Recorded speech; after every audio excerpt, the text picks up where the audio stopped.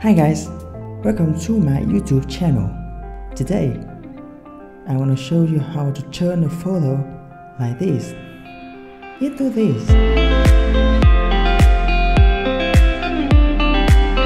Okay, let's just get started.